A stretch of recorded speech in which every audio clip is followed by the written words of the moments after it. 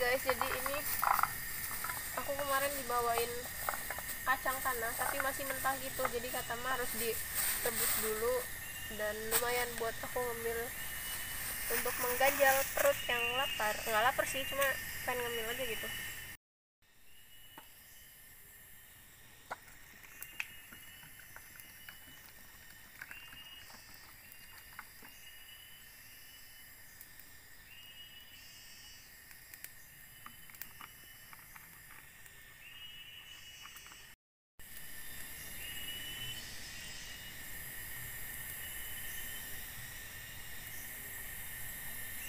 jadi mohon maaf ya guys kalau misalkan tempat tempat rumah pohon ini berantakan sebab lagi proses pembangunan kamar. Pembangunan anjir.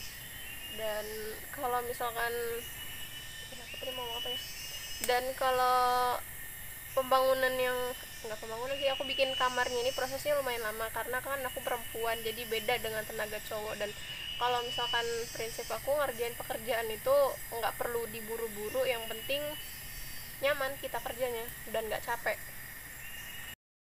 Oke jadi kemarin eh bukan kemarin sih semalam aku sempat baca salah satu komentar nggak tahu mas mas nggak tahu mbak mbak itu komentarnya isi komentarnya begini katanya suara aku bintang katanya begini channel gadis petualang kebanyakan sekarang niruin channelnya Wirta Kunil Kunil terus nggak seru.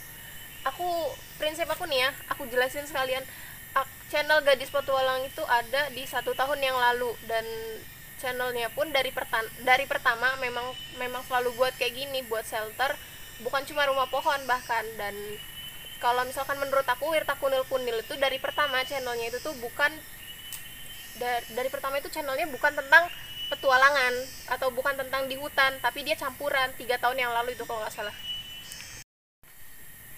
dan kemarin tuh aku sempat ngecek kalau nggak salah Bang Wirta tuh bikin rumah pohon di sekitar tiga bulan yang lalu. Kalau sedangkan aku dari pertama buat channel pun emang udah buat channel yang kayak gini.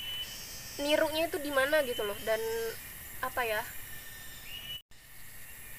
Kalau channel gadis petualang kan lebih kepada bushcraft dan jungle survival. Jadi jadi lebih banyak mencontohkan bagaimana caranya kita tuh hidup di hutan. Kalau misalkan Bang Wirta kan baru tiga bulan terakhir.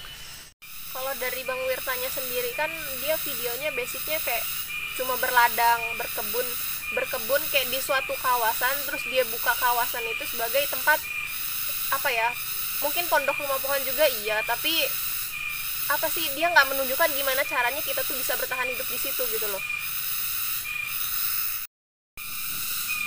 ya pokoknya channel gadis petualang dan wirta kundal kundal itu beda sama sekali nggak ada nggak ada nggak ada yang sama. Mungkin samanya cuma karena kita sama-sama di hutan. Dan basicnya channel gadis petualang tuh lebih kepada bushcraft dan jungle survival. Pokoknya nggak ada samanya sama sekali. Dan kalau misalkan bang Wirta Kunil Kunil tuh dia menggunakan alat yang lebih modern nggak kayak aku. Kalau misalkan aku kan masih pakai pakai gergaji lipat. Terus ya pokoknya gitu deh.